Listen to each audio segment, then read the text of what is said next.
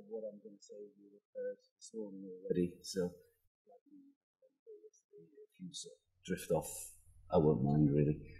Um, anyway, okay, so this is the title of uh, my talk, What Metadata Are Needed to Make Raw Data from ESRF MX Beamlines Intelligible. Um, well, at the MX Beamlines, we do MX experiments. Uh, you all know this. Um, which one is the which one is the laser thing? I have no idea. Sorry. Ah, right, I thought that was the off button. Okay, so we start with um, some crystals. Um, we put them on a diffractometer or something. We collect some raw diffraction images. We reduce these uh, diffraction images to get the information we need to get our crystal structure. Um, oh no, I don't need that, I? Yeah. Um, and as Harry Powell never forgets to tell us when he's giving a talk, the data collection step, so this bit here from crystals to raw diffraction images, is the last and probably the most important step of an MX experiment. Now, as you also know, third generation MX synchrotron uh, beam lines are extremely intense and coupled with new detector technology, pixel detector technology and such like, it means that we can collect a complete set of raw diffraction images from any given sample extremely quickly. Um, if we really wanted to show off, we could probably do it in less than a second uh, quite easily, although that doesn't happen so often. But because we can go so quickly and high throughput is, um, well, throughput is extremely high, what all SR synchrotron source MX facilities are doing is we're providing automatic experiment planning and execution, as well as online, and that means at Beamline auto processing. So that's reduction of the data, so go from this to this. And the correct collection, um, use and archiving of the meta of metadata for this part of the experiment are required to make sure that our users know well, they can interpret the results of the auto processing correctly. Uh, that's the first thing. And the second thing, so that it, we need this metadata to allow offline reprocessing or, of, uh, of the data after an experimental session. Oops, no, I don't need that. Sorry, I keep doing that, don't I? Um, just as an aside, experiment control at the SRF is via uh, a BCM, I should say, a beamline control module. That was a Freudian slip. The BCU stands for the Beamline Control Unit, um, called MXCuBE, um, of which the business end is here really. We can either, or users can either set up their experiment parameters explicitly in this little, uh, these boxes here, or semi-automatically using a series of workflows that we have down here. Once this has been done, um, we can add all this information to a queue, collect, collect queue, and what we've defined here will be carried out by the, the BCM. Oh no, I keep doing that. Sorry. so used to. Um, so what metadata do we need um, to describe an MX data collection? Well, basically we need to know stuff about the primary beam, the incident beam, what we've done with the crystal, um, and also what our detector is like. What are the characteristics of our detector. Um, and all the metadata we collect, you've seen this exact slide earlier on actually, um, are stored in ISPyB, which stands for Information System for Protein Crystallography Beamlines, is where the Y comes from. Um, I won't bother explaining this uh, too much, as Pierre has already done it uh, quite nicely, but basically all the metadata we need are stored in ISPyB. Now, ISPyB itself is not just a LIMS actually, um, a laboratory information management system, it's also a metadata catalog. And the great thing about ISPyB is it has a modular data model. So we can um, add any data tables for any anything we like really, and in particular for any experiment we like. And I guess uh, the biggest thing to uh, bring out about ISPyB is that it links samples with data collection and with the auto processing results. We also have here something for screening. I think Simon mentioned earlier on. Um, it's important if we take several, if we make a load of tests on different types of crystals or different, different crystals of the same type, we need to know the results of these as well. Um, this is the data collection module of ISPyB. I don't expect you to read it. Um, I can't even read it from here either. But basically, in this table here is where we define all the metadata that we need for the experiment and store all the, the metadata we need for the experiment. And this is then passed on to the auto processing module. Um, and the metadata itself is used to create an input file for data processing programs, in this case um, XDS. We use XDS for our auto processing, uh, online auto processing. And depending on how we run it, we can either run just a straight through, quick and dirty approach, or we can use a much, much more robust uh, approach. And depending on how we use it, um, we either go straight from this input file into here, or if we use this uh, more robust approach, this is um, updated depending on the results of various um, uh, of various uh, parts of this uh, system here. And then all the results of all of this are again stored in ISPyB here. Um, if users want to see um, which me what metadata we've stored in ISPyB, that's fairly straightforward.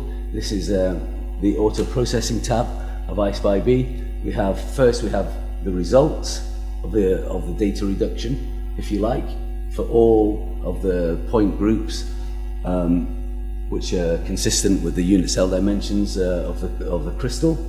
But here we store the experiment parameters. You can see them here. You can hardly see them, but things like the phi start, um, what the effective oscillation range is, and what the exposure time is, stuff like that. And in here, this is the beamline parameters actually. Um, uh, so what the energy of the incident X-rays are, we actually tell you what the undulator types are, what the gaps are, and stuff like that. Things that you don't really need actually for, for data reduction, but um, we store them anyway. And also what the incident flux of the beamline is.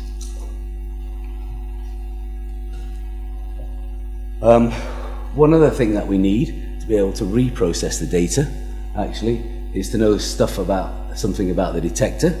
And if I go back, sorry, here, in um, this is a XDS input file. Here is some information about the detector, and these basically tell you where the gaps are in the between the modules in the, the, the pixel detector.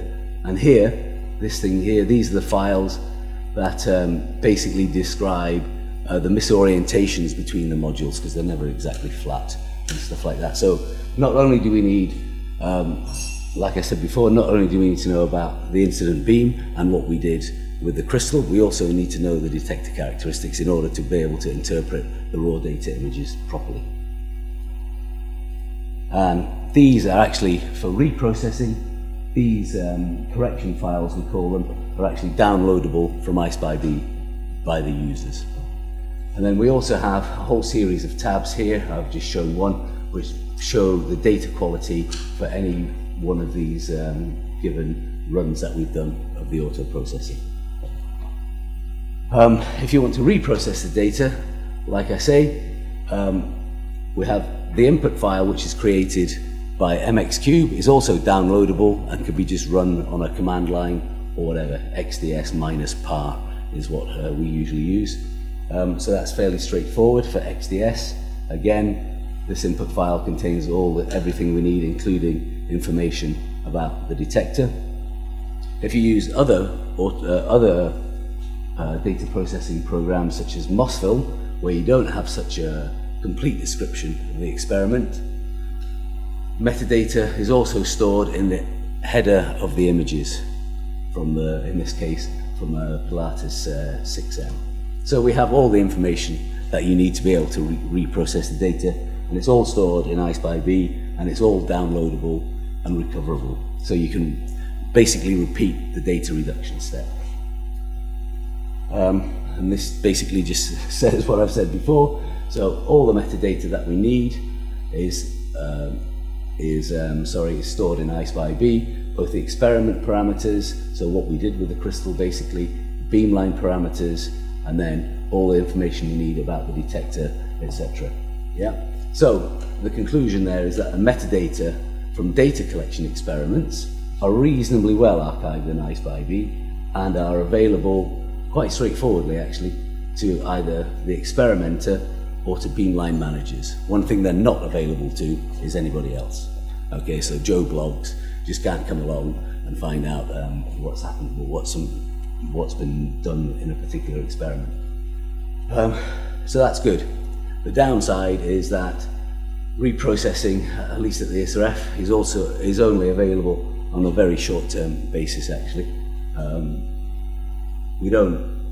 Well, images are on our central storage system, so basically they're available online for about 30 days or something like that. And then on a slightly longer term, six month uh, term, you can get them downloaded back onto the, the central server. Sorry, Tom. Yeah.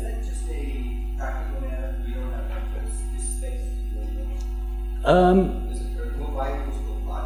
it's sort of tradition more than anything else, I think. I think since the ESRF started, I think the general idea has been that users data uh, uses data, and it's not the problem of the ESRF to, to keep this for them. Although, I mean, I guess one of the, the aims of this meeting is to decide whether it is or not, actually.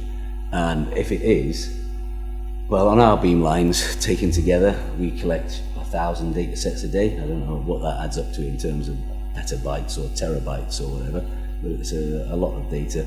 And as uh, I think Pierre said earlier, or Brian, for for structural biology beamlines anyway, it, it quite rapidly adds up to a monumental amount of data actually. Um, so whether the SRF could do that on its own, I don't think so. Um, yeah, I don't think so. And so, so it's sort of tradition and funding, I guess. Yeah. Okay, so the experiment metadata is actually well catalogued, archived, and retrievable. But if we really want to be able to interpret the raw images, I suppose what we need to do in the end is to see how well the structure that we get out, that we get from these raw images, well, how these two, um, uh, yeah, if there's a strong correlation between these two, raw data and the structure that we get out. Um, and to do that, we need to know something about our samples. And unfortunately, something that ISPyB is not very good at, at least not at the moment, is storing information about samples. Uh, this is our sample metadata um, module. Uh, it looks quite complete actually, but as far as the actual sample itself is concerned, there's very little contained. Basically, all it says, all, all this says is that I have a protein and I have called it Fred or something like that. That's all. Um, that's all we know. We know nothing about. Well, that's all we know. Um, but what we would probably then, what we probably do need to know actually about our samples, and this has been uh, touched on before by Simon, I think, and uh, some other talkers today, is that we need to know a lot more than it's just called Fred. We need to know details of its production and its purification, so how it was um, expressed and purified, how it was crystallized, um, other information about the experiment, the temperature and the pressure at which it was done. Well, we don't do many uh, experiments at anything but um, uh, atmospheric pressure, but um, I think they will come eventually in MX. We, we say nothing about the experiment type. IB here stands for inverse beam, so for a mad experiment or a sad experiment, if we collect data in a particular way, or if we've collected data in using a helical mode, so we translate the crystal through the beam while we're collecting data rather than it just being static. We also don't know anything about heavy atom soaking, ligand soaking, or cryoprotection, or any, any of the steps before the crystal is actually put on the, the beam line. Um, and to my mind, this is something that we do need, because I guess at the end of the day, we want to be able to make sure that the crystal structure here is commensurate with the data here, and that people just haven't made it up, which doesn't happen often, but um, well, there you go. So this means that ISPyB or any other metadata catalog um, needs to be connected to other databases. Um, so protein uh, production and purification databases, crystallization databases uh, such as uh, CRIMS, which is uh, the database for the HTX platform. That's the high throughput crystallography platform in the Partnership for Structural Biology at the SRF. And then all the stuff about post-crystallization, what we've done with the crystal. Have we soaked it? Have we cut it in half? Have we done this? Um, or whatever, yeah? All this needs to go into ISPyB, and then we need to combine all this metadata with the raw images to make sure that the final structure is the one we should be getting. Um, a problem with ISPyB and with most metadata catalogs is that each synchrotron site has its own ISPyB. So uh, Diamond has its own specific database, which is specific to Diamond, the SRF ISPyB database is specific to the SRF, uh, Petra 3, Soleil. Anyway, they all have their own versions of ISPyB. Um, and for non-users, basically, to get information out of these things is near impossible, actually, or, and or beamline managers. So what needs to be done really is that all the metadata contained in all of these different ISPyBs needs to be, in my opinion, put into a really, really big database, pan-European, perhaps, um, um, where it can be more easily accessed by, by non-users. And then, of course, we have the problem about archiving all the raw images uh, for all, exper all M experiments, either in Europe or in the world. You end up with something that may or may not be uh, tractable to do. So that's uh, basically the end of my talk. Uh, the conclusions are that the metadata, the metadata required in order to make raw data from our beamlines intelligible are not extensive actually. You don't need that much uh, data, um, particularly for the, if you're just describing the data collection step. And they're archived and retrievable in ISPyB for users at any rate, yeah? And this metadata describes the experiment carried out on a given sample enables users to understand what's happened during automatic data reduction processes and it also enables the reprocessing of raw images by users. Although with the caveat that there's a, a time limit to the, uh, the length of time they're held on our servers. To make raw images fully intelligible for non-owners, we need more metadata. You would hope that users, you know, uh, the owner of a crystal, knows actually what's been done to it beforehand but non-users certainly won't know what's uh, been done to it beforehand. And so we need to let, have links to databases for sample production and purification, crystallization, post-crystallization, etc., etc. And this, there, I've just said it, it requires linking with ISPyB and other databases. And, well, I don't know if this is um, what we should be talking about here, but as I said before, each synchrotron site has its own version of ISPyB, and basically something I've been thinking about for a long time and advocating for a long time, although nobody listens, um, is I think that we should have a centralized ISPyB or the equivalent where metadata for all SR-based M experiments can be archived and retrieved. Um, thank you for your attention. Thank you. Thank you very much, Gordon. Questions to Gordon? Vladek? Uh, I have somewhat provocative question. Uh, you said that every synchrotron in Europe, and I didn't use synchrotron in Europe for a long time, has its own database, and there is no way to make any unification. I didn't say there was no way to make uh, so far. So far, yes, but I, uh, uh but you see, uh, as far as I know, you have the best ESRF system, looking at sample, is the best system in the world. Yes? And you really did something new a few years ago. And every beamline should copy that. And they didn't. Okay, yes? so, actually, so my question is, so why it's so difficult? It's not, well, for some reason, collaboration between synchrotron sources, particularly structural biology, seems to be difficult to set up. Once it started, it works quite well, and actually there is now a collaboration, it's called the MXCuBE collaboration, where all the synchrotrons in Europe, apart from SLS and Diamond, um, as far as I'm aware, are going to be using MX Cube and helping to develop MX Cube, uh, develop and evolve MX Cube. And the same with ISPyB, actually, that there's going to be a meeting in October, I think, where we're going to finally sign some agreement to say that we'll all work together on ISPyB. Um, I think Diamond are going to be involved in that, but with some constraints or restraints, because they like their way, they like the way they've developed ISPyB. Yeah, and they prefer it to the way I we've developed say it. that my best collaboration, best collaborations I had in my life. Yeah, yeah, yeah, um, yeah. I think you're right, actually.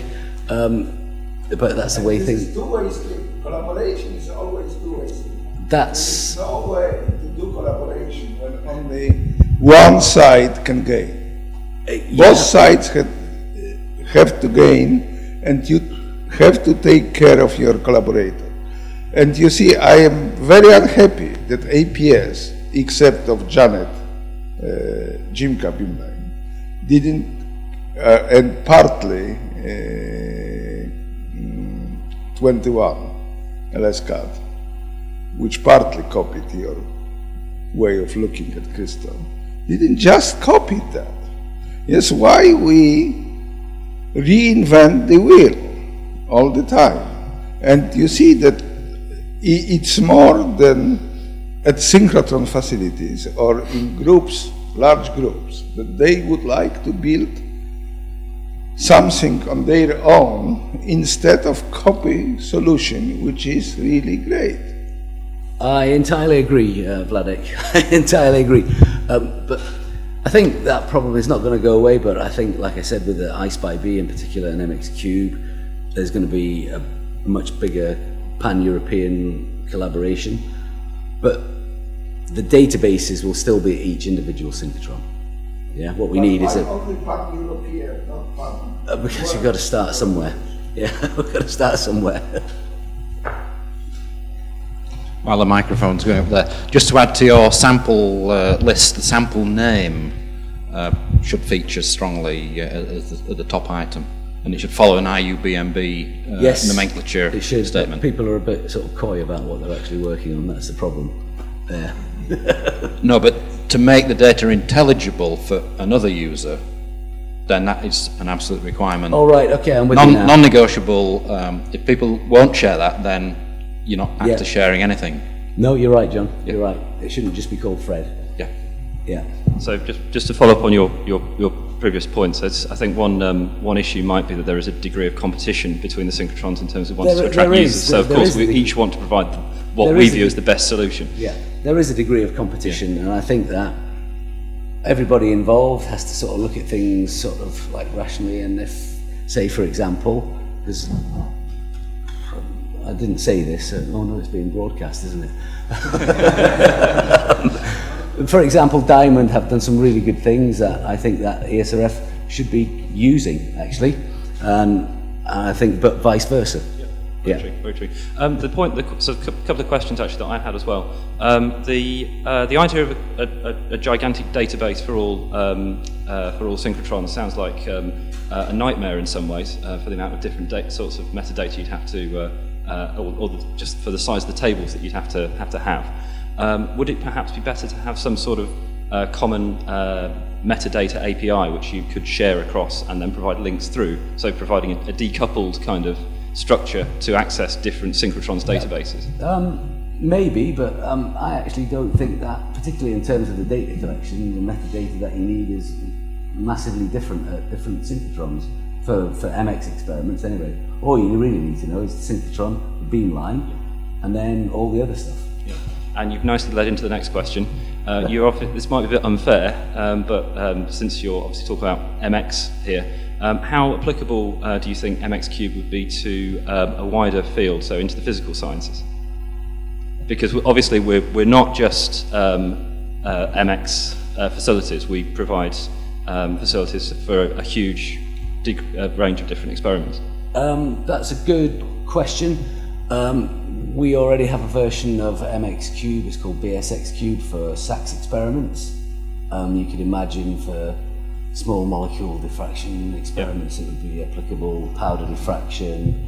Um, I don't know, maybe even imaging actually, where you do the sort of, yeah, I'm not an expert on these other techniques, but things where you do the same thing over and over and over again, mostly.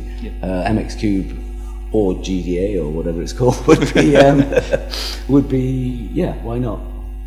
But then again, you see, this is like competition. There's not only competition between synchrotrons, there's competition between techniques and beamlines and stuff. Brilliant, thank you. If I may just comment on this gigantic thing. So first of all, I think Brian gave uh, the numbers for the, might have even been for Diamond, that the total for the, meta, uh, the metadata size is not that gigantic. And you're not, at the moment, doing the preservation of the raw data. And a way to, um, taking Brian's point about uh, triage, you could clearly identify what raw data might be the ones to retain. And that could, for example, be those that you would flag show diffuse scattering, those, secondly, that are particularly medical relevant projects, and the public duty is to preserve those because they are medical related, and then you'd have, let's say, the rest. So I think there are, emerging from the Triple DWG discussions, uh, cases of raw data to assist this, this feeling of overwhelm uh, uh, overwhelming uh, quantity of raw data. I mean, I would actually start maybe at a slightly different level. Anything that's published, yeah. You, That's another way of triage. yeah, yeah, exactly. Okay, I think we move on. Thank you very, very much, Gordon. Thank you. Thank you. Um,